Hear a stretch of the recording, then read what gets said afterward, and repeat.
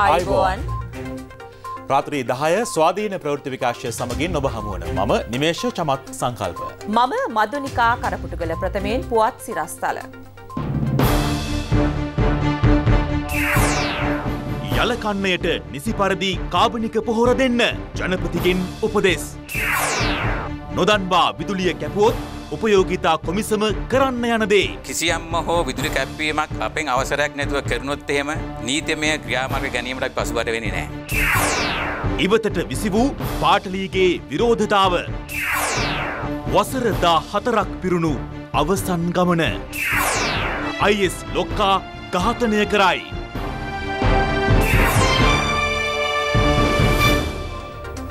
අරුන්දික ප්‍රනාන්දු රාජ්‍ය අමාත්‍යවරයා සිය අමාත්‍ය දුහරවලින් ඉල්ලා අස්වන බව අද ප්‍රකාශ කළා. රාගම වෛද්‍යපීඨයේ ඇති වූ සිද්ධිය සම්බන්ධයෙන් ක්‍රියාත්මක පරීක්ෂණවලට සහයෝගය ලබා දෙමින් තමන් සිය අමාත්‍ය දුහරවලින් ඉවත්වන බවයි අද විශේෂ මාධ්‍ය හමුවක් ඇඳවමින් ඔහු වැඩිදුරටත් ප්‍රකාශ කළේ.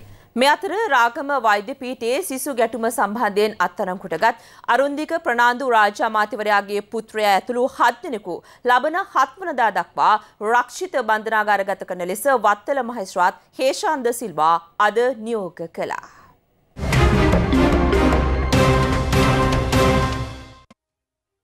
රාගම වෛද්‍යපීඨයේ සිසුන් පිරිසක් හා බාහිර පුද්ගලයන් කීප දෙනෙකු අතර ගැටුමක් ඇති වුණේ ඊයේ අලුයම් කාලයේදී. එම ගැටුමෙන් සිසුන් හතර දෙනෙකු තුවාල් ලැබූ අතර එක් සිසුවෙක් තවමත් රෝහල්ගතව ප්‍රතිකාර ලබනවා. ගැටුම සම්බන්ධයෙන් සැකකරුවන් හය දෙනෙකු අත්අඩංගුවටගෙන තිබූ අතර ඊයේ රාත්‍රියේදී අරුන්දික ප්‍රනාන්දු රාජ්‍ය අමාත්‍යවරයාගේ පුත්‍රයා වන KARJ ප්‍රනාන්දු පොලිසියට බාර වීමෙන් අනතුරුව අත්අඩංගුවට ගැනුණා. මෙම පහරදීම් සඳහා පැමිණි බව සැලකෙන BMW වර්ගයේ මෝටර රථයද පොලිසිය අත්අඩංගුවට ගත්තේ ඊයේ උදෑසනයි. කෙසේ වෙතත් සිද්ධිය සම්බන්ධයෙන් අත්අඩංගුවට ගැනුණු සැකකරුවන් 6 දෙනාගෙන් 4 දෙනෙකු අද අධිකරණයේ හමුවට ඉදිරිපත් කරනු අතර අයහපත් සෞඛ්‍ය තත්ත්වයේ හේතුවෙන් අනෙක් දෙදෙනා අධිකරණයට ඉදිරිපත් කෙරුණේ නැහැ. එමෙන්ම පොලිස් භාරයට පත් වූ රාජ්‍ය අමාත්‍යවරයාගේ පුත්‍රයාද අද අධිකරණයේ හමුවට ඉදිරිපත් කෙරුණා. ඒ අනුව සැකකරුවන් පස් දෙනා අධිකරණයේදී හඳුනාගැනීමේ පෙරට්ටුවකට යොමු කරනු අතර සිද්ධිය සම්බන්ධයෙන් කරුණු දක්වමින් වත්තල ප්‍රධාන මහේස්ත්‍රාත් හේෂාන්ද මෙල් මහතා නියෝග කළේ සැකකරුවන් හත් දෙනා ලබන හත්වනදා තෙක් රක්ෂිත බන්ධනාගාරගත කරන ලෙසයි. එමෙන්ම අද සන්ධ්‍යාවේදී අදාළ සිද්ධිය සම්බන්ධයෙන් තවත් පුද්ගලයන් තුන් දෙනෙකු රාගම පොලිසිය මගින් අත්අඩංගුවටගෙන අධිකරණය හමුවට ඉදිරිපත් කරනු අතර ඔවුන් එක් අයෙකුට රුපියල් 2000 බැගින් වූ මුදල් ඇපයක් සහ රුපියල් ලක්ෂ 5 බැගින් වූ ශරීර ඇප මත මුදා හැරීමට මහේස්ත්‍රාත්වරයා නියෝග කළා. කෙසේ වෙතත් මෙම සිද්ධිය සම්බන්ධයෙන් කරන පරීක්ෂණ කටයුතු වලට සහයෝගය ලබා දෙමින් රාජ්‍ය අමාත්‍ය අරුන්දික ප්‍රනාන්දු සිය අමාත්‍ය දුහර වලින් ඉවත් වන බව විශේෂ මාධ්‍ය හමුවක් ඇඳවමින් අද ප්‍රකාශ කළා. ජනාධිපතිමත්ක සාකච්ඡා කර මම කිව්වා මේකේ පරීක්ෂණයක් කරන්න මේ පරීක්ෂණ ඉවරනකම් මම මගේ තනතුරු වලින් අයින් වෙන්නම් කියලා. මොකද සමහර කලාට මේ තනතුරු තුල බලපෑමක් කරන්න පුළුවන් බලපෑමක් වෙන්න පුළුවන් කියලා කාට හරි තේරෙන්න පුළුවන්. ඒක නිසා මම කල්පනා කරා අනිවාර්යයෙන්ම මගේ අමාත්‍ය ධූරයෙන් මම අයින් වෙනවයි කියලා. ඉතින් මම හිතනවා ජනාධිපතිතුමා සාධාරණ පරීක්ෂණයක් කරවලා මම වැරදි කාරයෙක් නම් මම මේ අමාත්‍ය ධූරයාය කවදාවත් බාරගන්නේ නැහැ. මේ පරීක්ෂණයෙන් මම නිවැරදි තත්ත්වයට පත් වුණොත් මම හිතනවා මට ඒ නැවතත් මට වෙනුවෙන් මේ අමාත්‍යංශේ බාර අරගෙන වැඩ කටයුතු කරන්න අවස්ථාව ලබා දෙයි කියලා. මේ අතර පසුගිය දිනවල සිද්ධීන් කිහිපයක් සම්බන්ධයෙන් රට තුළ දැවැන්ත කතාබහක් ඇතිවුණු චරිතයක් බවට පත්වනේ හිටපු රාජ්‍ය අමාත්‍ය අරුන්දික ප්‍රනාන්දු මහතායි. අද හරිද වැරදිද විශේෂාන්ගෙන් ඒ සම්බන්ධයෙන් ඍජුව ප්‍රශ්න කෙරුණා. අද හරද වැරදිද විශේෂන්ගේට අපි සම්බන්ධ කරගන්නේ? අද ඉල්ලාස්වීම ලබා දුණු හිටපු රාජ්‍ය අමාත්‍ය අරුන්දික ප්‍රනාන්දු මැත්තවන් රාජ්‍ය අමාත්‍ය දූරේ බලතල අයතු විදිහට භාවිතා කරන එක හරිද? වැරදි. ඇයි එහෙම භාවිතා කරලා? ඍජුව හරි වක්‍රව හරි මම මේකට කිසිම සම්බන්ධයක් නැහැ. සාධාරණීකරණය කරනවා නෙමෙයි. ඒක වැරදි කියලා මම හිතනවා. මම හොයලා බැලුවාම මට දැනගන්න ලැබුණා මේගොල්ලෝ වාහන දෙකක ඉදිරිවරු දෙන්න හඳුනාම හතර දෙනෙක් පස් දෙනෙක් තමයි ගිහිලා තිබ්බේ. ඔබතුමාගේ පෞද්ගලික කාර්ය මණ්ඩලයේ කෙනෙකුත්. ඔව් මගේ රියදුරු මහත්මයෙක් ඉඳලා තියෙනවා. එතන ලොකුම වැරද්ද තමයි පොලිස් සංකල්පන අධිකාරියේ වාහනයක් පාවිච්චි කරලා තියෙනවා. ඒක ලොකු වැරද්දක් කියලා මම දකිනවා. ඔබතුමාගේ අනුදැනුමක් නැතුවදී භාවිතා කිරීම කරලා තියෙන්නේ. පරීක්ෂණයක් හරියට කරලා මගේ අනුදැනුමකින් හරි මේක සිද්ධ වෙලා තියෙනවා කියලා කිව්වොත් මම කිව්වා මේ මගේ තනතුරෙන් මම අයින් වෙන්නම් කියලා. පුතා යනකොට ඔබතුමාට කිව්වේ නැද්ද මම යන්නේ මේකට කියලා? මම දන්නවා තුන් හතර දෙනෙකුට ගිහිල්ලා ඕකක් මිස්ද ගන්න බෑ. වැරෙන්න එනවා. මේ අපි කියලා නම් එහෙම මම වෙන්නප්පු හිටියේ මම අනිවාර්ය කොළඹට එනවා. ඇවිල්ලා මම මේක නවත්තනවා. ඔබතුමා දන්නේම නෑ යනවා. මධ්‍යම රාත්‍රියේ ගිහිලා තිබ්බේ. මම ඊළඟ දවසේ උදේ තමයි දැනගත්තේ. සමහර මාධ්‍ය වාර්තා කරලා තිබුණේ පෙම්වතියක් සම්බන්ධයෙන් වූ සිද්ධියක්. මගේ පුතාට එම්මතියක් ඉන්නවා. හැම ගැලණි විශ්වවිද්‍යාලේ පෙම්මතියක් නෑ. ජනාධිපතිතුමා මොකක්ද කියලා කතා කරලා ඔබතුමා? ජනාධිපතිතුමා මේ සිද්ධිය දන්නවා සම්පූර්ණයෙන්. මුණ ගැහෙන්න කලින් ජනාධිපතිතුමා කිව්වද ඔබතුමාට ඉල්ලාස් වෙන්න කියලා? නෑ නෑ ජනාධිපතිතුමා මට එහෙම කිව්වේ නෑ. ජනාධිපතිතුමා මුණ ගැහෙන්නයි කිව්වේ. ජනාධිපත්තුවා ඉල්ලන්නේ සාධාරණ පරීක්ෂණයක් කරන්න මේ. ඒ කියන්නේ පක්ෂයක් විදිහටද රජයක් විදිහට සාධාරණ පරීක්ෂණයක් කරන්න කියලා ඔබතුමා ඉල්ලන්නේ? රජය විදිහට හරි. මට සාධාරණයක් වෙන්න නම් පරීක්ෂණයක් සිද්ධ වෙන්න ඕන කියන තැන තමයි මම ඉන්නේ. බන්ධනාගාරය ආශ්‍රිත සිද්ධ වෙච්ච සිද්ධියත් එක්ක ලුහන් රත්නත්‍ර මහත්තයාට එහෙම පරීක්ෂණයක් කරනවා කිව්වා. තාම එහෙම ප්‍රතිඵලයක් නැහැ. ඇමතිකම හම්බුනේත් නැහැ. ඔබතුමාටත් එහෙම වෙයිද? කියන්න බෑ මේ පරීක්ෂණය හවර වෙලා ඔබතුමා නිවැරදිකාරය වුණොත් මේ පුටුවේ මායාවිලා වාඩි වෙන්න පුළුවන් වෙයිද? මට දුන්නොත් මම මේක තවත් ඉස්සරහට දිනු කරනවා කියලා මම හිතනවා. එක සිද්ධියක් මේක මීට කලනුත් යම් චෝදනාවක් කෙල්ලුණා අර ප්‍රභු පර්යන්තයේ නෙතුනෝල් සම්බන්ධ පුද්ගලෙක් කරගෙන ආවා කියලා. මම ගුවන්තරුවට යන්නේ මේ පුද්ගලයාවගෙන් නෙමෙයි. එහෙම ගිල්ල බෙල්ල තියන්න එහෙම කෙනෙක් එක්කලා එහෙම ආශ්‍රයකාරී තියනවා නම් එහෙම ගිල්ල මේ ලිපිට ගිහිල්ලා. දැන් උනත් අහන්න පුළුවන් එකෙන් හරි ඉමිග්‍රේෂන් එකෙන් හරි මම ගිහිල්ලා අඩු ගන්න කිව්වද මෙයාව මේව කරන්න. අද මේ පුටුවේ නැගිටලා ගිහලා හෙට මොකද කරන්න හිතාගෙන ඉන්නේ? මම සංවර්ධන කමිටු දෙක සභාපති. ඒව මට නැති වෙලා නැහැ. ඒ සංවර්ධන කමිටු දෙක තුල විශාල මුදලක් රජය දීලා තියෙනවා ජීවනෝපාය සංවර්ධනය සහ යටිතල පහසුකම් සංවර්ධන. දීවර වරායක් හදලා තියෙනවා මගේ ආසනේ මම යෝජනා කරලා. මේ දේවල් කරගෙන යනවා. කනගාටුවක් නැතුව නෙමෙයි කනගාටුවක් තියෙනවා මේ සිද්ධිය සම්බන්ධයෙන්. දැන් දරුවෙක් රිමාන්ඩ් වුණාම ඕනෑම තාත්තා කෙනෙකුට නම් මෙතනට ඒ කනගාටුව තියෙනවා. ඒ කනගාටුව මටත් තියෙනවා. ඒ අය ජීවිත අත්දැකීම් ලබා ගන්න ඕන. හරි වැරද්ද තේරෙන්න ඕන. අත්දැකීම් ලබා ගන්න ඕන. ඒ පැත්තෙන් මං හිතාදාගෙන යලකන්නයට අවශ්‍ය කාබනික පොහොර නියමිත කාලයේදීම ලබා දෙන්නැයි ජනාධිපති ගොටාබහ රාජපක්ෂ මැතිතුමා නිලධාරීන්ට උපදෙස් ලබා දුන්නා. මහා කන්නේදී සිදු වූ අඩුපාඩු ඉදිරියේදී නොවිය යුතු බවත් පොහොර බෙදා හැරීමට විධිමත් යාන්ත්‍රණයක් ක්‍රියාත්මක විය යුතු බවත් ජනාධිපතිතුමා අවධාරණය කළා. පොහොර කාර්යසාධක බලකාය ජනාධිපති ලේකම් කාර්යාලයේදී අද රැස් වූ අවස්ථාවේදී ජනාධිපති ගෝඨාභය රාජපක්ෂ මැතිතුමා මෙම උපදෙස් ලබා දීම සිදු කළා. විවිධ තාක්ෂණ ක්‍රම යොදා ගනිමින් දේශීයව කාබනික පොහොර නිෂ්පාදනය සිදුවනවා. එබැවින් එම පොහොර භාවිතය පිළිබඳ ගොවීන් නිසි ලෙස දැනුවත් කිරීමේ අවශ්‍යතාව පැහැදිලි කළ ජනාධිපතිතුමා ඒ සඳහා පොහොර කාර්යසාධක බලකාය නිලධාරීන් යොදාගත යුතු බවද අවධාරණය කළා. කාබනික පොහොර භාවිතය පිළිබඳ නිසි ලෙස දැනුවත් නොකිරීම හේතුවෙන් පසුගිය කන්නේදී ඇතැම් ගොවීන් අසාර්ථකත්වයට පත් වුණා. මේවර එම අඩුපාඩු මගහරවා ගනිමින් කෘෂි පර්යේෂණ සහකාර නිලධහරින් මගින් දැනුවත් කිරීම් කළ යුතුයි. ඇතැම් නිලධහරින් දැනුවත් කිරීමේ වැඩසටහන් වලට සහභාගී වීමට මැලිකමක් දක්වන බවද වාර්තා වී තිබෙනවා. සියලු දෙනා එම වැඩසටහන් වලට සහභාගී වීම අනිවාර්ය කළ යුතු බවට ජනාධිපතිතුමා මෙහිදී උපදෙස් ලබා දුන්නා. වස විසෙන් තොර ආහාර වේලක් ජනතාවට ලබා දීමේ රාජ්‍ය ප්‍රතිපත්තිය සමග තමන් බැඳී සිටින බව කාබනික පොහොර ව්‍යවසායකින් මෙහිදී ප්‍රකාශ කළා. පසුගිය මහකන්නේ කාබනික පොහොර භාවිතයෙන් ලබාගත් සාර්ථක අස්වැන්න පිළිබඳ පොහොර නිෂ්පාදන සමාගම් නියෝජිතයින් සංඛ්‍යාලේඛන සහිතව කරුණු ඉදිරිපත් කළා. දිස්ත්‍රික්ක විසි පහම ආවරණය වන පරිදි පොහොර නිෂ්පාදනය සහ බෙදා හැරීමේ ක්‍රියාවලිය සාර්ථකව ක්‍රියාත්මක බවයි රාජ්‍ය මාත්‍ය ශශීන්ද්‍ර රාජපක්ෂ මහතා මෙහිදී ප්‍රකාශ කළේ. අවසරයකින් තොරව විදුලි කප්පාදුවක් සිදු කළහොත් ඊට අදාළ පාර්ශ්වයන්ට එරෙහිව නීතිමය පියවර ගන්නා බව මහජන උපයෝගිතා කොමිෂන් සභාවේ සභාපති ජනක රත්නායක ප්‍රකාශ කරනවා. මේ අතර විදුලි ගාස්තු ඉහළ දැමීමේ කිසිදු තීරණයක් එන නැති බවයි විදුලි බල අමාත්‍ය ගාමිණී ලොකුගේ පවසන්නේ. ඉන්දන නොමැතිවීම හේතුවෙන් කැලණිතිස්ස මතුගම සහ පාවෙන බලාගාරයේ කොටසක් අක්‍රිය වී තිබෙනවා. මේ හේතුවෙන් ජාතික විදුලි පද්ධතියට අහිමි වූ මෙගාවොට් සංඛ්‍යාව තුන්සිය හැත්තෑවක්. කැලණිතිස්ස බලාගාරයේ ජනන කටයුතු සම්පූර්ණයෙන්ම නැවතීම හේතුවෙන් මෙගාවොට් දෙසිය අනුත්තුනක් විදුලි පද්ධතියට අහිමි වුණා. කෙසේ වෙතත් විදුලි බිල වැඩි කරන බවට ඇතැම් වෘත්තීය සමිති ගෙන යන ප්‍රචාර මුළුමනින්ම අසත්‍ය බව අද පෙරවරුවේ මාධ්‍ය හමුවක් පවත්වමින් අමාත්‍යවරයා අනාවරණ කළා. අපිට විදුලි කැපීමකින් තොරව යන්න පුළුවන් වෙයි කියලා සාස්ත්‍රීය කැබිනට් මණ්ඩලයේදී අපිට අවසර දුන්නා. පුද්ගලික බලාගාරවලත් 6 මාසයකට අවශ්‍ය විදුලි ගන්න ටෙන්ඩරයක් ඇඳවන්න කියලා තියෙනවා. ඒකෙන් වාසිදායක කණ්ඩායමට අපි ලබලා දෙනවා. කවුරු මොනවා කිව්වත් අපි බලාපොරොත්තුවක් නැහැ මේ මොහොතේ විදුලි බිල වැඩි කරන්න. පංචෙන් රැල් පවසන මේ විදුලිය නිසා තම දුවන්නේ තම රීලෝඩ් සිස්ටම් එකට කියලා. එයා ඇවිල්ලා ජනතාවේ මුතු පෙරමුණේ නියෝජිතයා. ඒගොල්ලන්ට ඕනේ කොහොම හරි විදුලිය විසන්ධි කරලා කළුවරේ තියලා ඒගොල්ලන්ට රටේ ජනතාව ඔසි ගන්නන්න. ඒකයි ඒගොල්ලෝ බලාපොරොත්තු. විදුලිය කැපීමක් සිදු නොවන බවට පැවසුනාද අදත් ප්‍රදේශ රැසකම විදුලිය ඇනහිට තිබුණා. මේ සම්බන්ධයෙන් අප කළ විමසීමකදී මහජන උපයෝගිතා කොමිසමේ සභාපතිවරයා කියා සිටියේ කොමිසමේ අවසරයකින් තොරව විදුලි කප්පාදුවක් සිදු කළ නොහැකි බවයි. කිසිම විදුලි කප්පාදුවක්කට අපි මහජන උපයෝගිතා කොමිසම් සභාව අද අවසර දීලා නැහැ. දෛනික විදුලි කප්පාදුවකට අවසර දෙන්නේ මහජන උපයෝගිතා කොමිසම පමණයි. ඒ නිසා කිසියම් පාර්ශවයක් විදුලි බල මණ්ඩලය හරි ලෙකෝ ආයතනය හරි කිසියම්ම හෝ විදුලි කැප්වීමක් අපෙන් අවසරයක් නැතුව කරනොත් එහෙම විදුලි විදුලි බල පනත අනුව අනිවාර්යයෙන්ම ඒ සඳහා නීතිමය ක්‍රියාමාර්ග ගැනීමට අපි පසුබට වෙන්නේ නැහැ.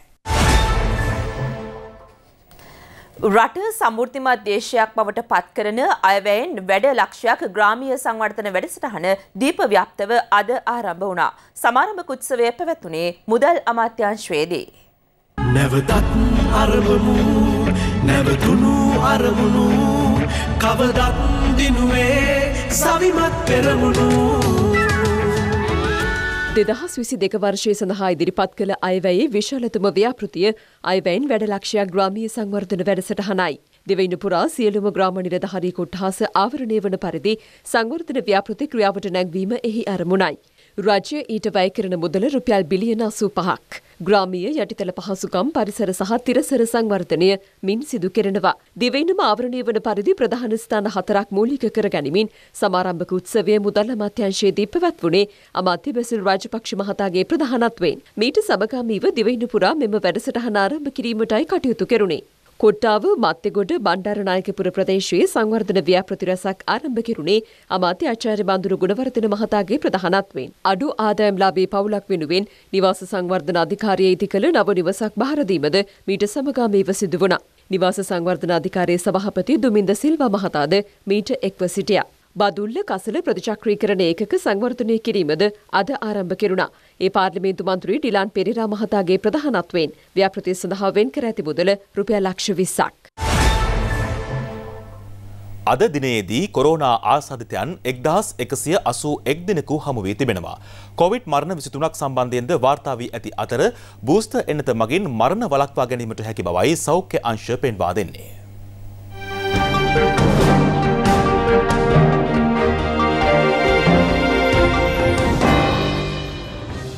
ඔමික්‍රෝන් කියන ප්‍රබේදය සාපේක්ෂව ඩෙල්ට ප්‍රබේදයට වඩා සැරබවින් අඩු වෙලා තියෙනවා කියලා කිව්වට එන්නත් කරණි ලබා ගත්තේ නැති කෙනෙක්ට ඩෙල්ට ප්‍රබේදයේ වගේම බැරෑරුම් තත්ත්වයක් ඇති කළ හැකි. ඒක මං හිතන්නේ අපි හොඳටම මතක තියාගන්න ඕනේ. ඒ වගේම දැන් අපි දන්නවා මේ බූස්ටර් මාත්‍රාවේ අවශ්‍යතාවය මොකද මුල එන්නත් දෙක ලබා ගත්තට පස්සේ කාලයක් යනකොට අපේ ඇඟේ තියෙන ප්‍රතිදේහ ප්‍රමාණය අඩුවීමක් වෙනවා.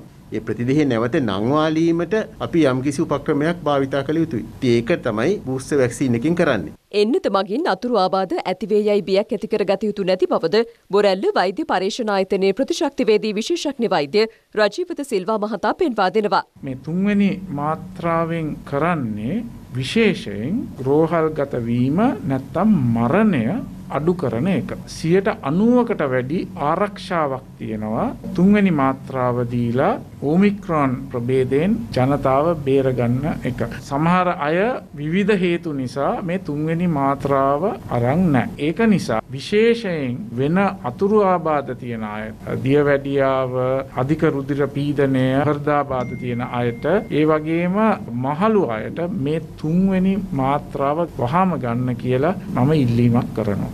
මේ අතර දිනකට වඩා උණරෝගය පවතී නම් වෛද්‍ය ප්‍රතිකාර ලබා ගන්නා ලෙස සෞඛ්‍යංශ ජනතාවට දැනුම් දෙනවා.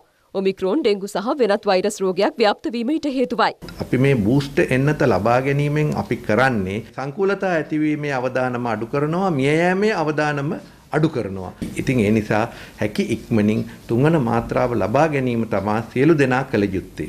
මේ එන්නත ලබාගත් සියලු දෙනාගෙන්ම ඉල්ලා සිටින්නේ තමන්ගේ අත්දැකීම් අනික් අයට පවසන්න. මොකද ෆයිසර් එන්නත ලබා දුන්නු බොහෝ දෙනෙකුට එන්නත් ගත් ස්ථානයේ යම් වේදනාවක් ඇති වෙනවා. මේ වේදනාව පැය 48ක් අතර කාල සීමාවක් තුල තියෙනවා.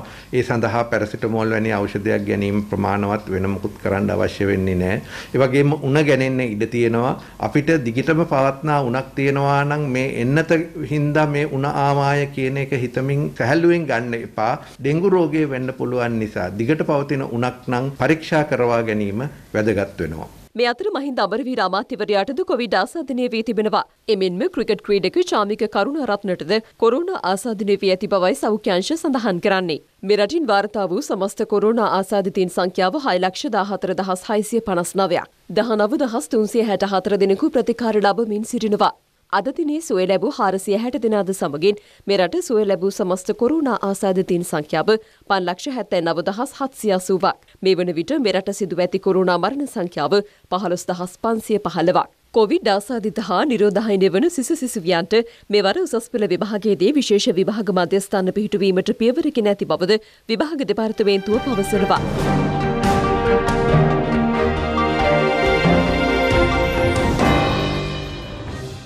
පාටලි චම්පික රණවක හිටපු ඇමතිවරයාට එරෙහි නඩුව පවත්වාගෙන යාමට නොහැකි බවට ඔහුගේ නීතිඥවරුන් මතු කළ මූලික විරෝධතාවක් කොළඹ මහාධිකරණය ප්‍රතික්ෂේප කළා. ඒ සමග තවත් නඩු කිහිපයක තොරතුරු අධිකරණ පුවත්වලේ.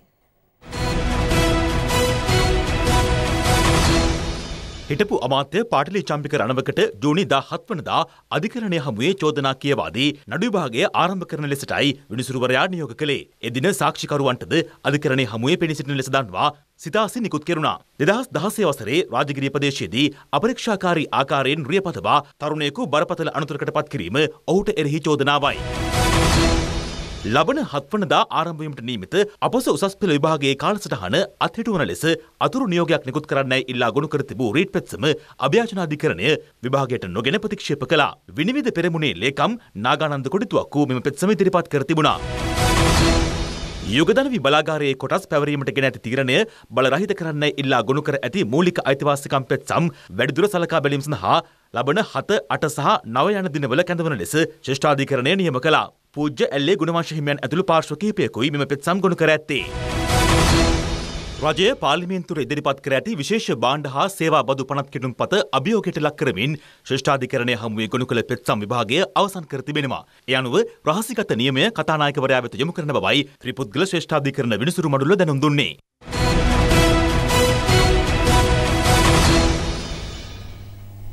රටේ වත්මන් දේශපාලන තත්ත්වය පිළිබඳව දේශපාලන වෙදිකාවේ අදත් විවිධ අදහස් මෙලෙස පලවුණා.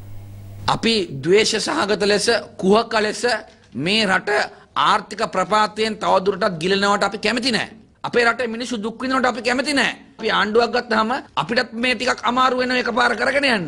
එනිසා ඒ ඒ මූලික පියවරන් ගන්නව නම් ඒකට සහය දෙන්න විපක්ෂයක් විදිහට අපි ලෑස්ති. මේ රට නන්නත්තර වෙන්න ඉඩ ඇරලා ඒ මතින් බලයේ මේ කිසිදු අරමුණක් අපි ගාවට නෑ. ජාතික බලවේගයේ බලයට ආවොතින් කිසිම හොරෙකුට ගැලවිල්ලක් නැහැ. කිසිම දූෂිතයෙකුට ගැලවිල්ලක් නැහැ. වංචාකාරයන්ට දැල් ගැලවිල්ලක් නැහැ. නිසා වංචාකාරයෝ අපි දන්නවා දැන් බය වෙලා ඉන්නේ. බොකරත් වෙලා තියෙන්නේ.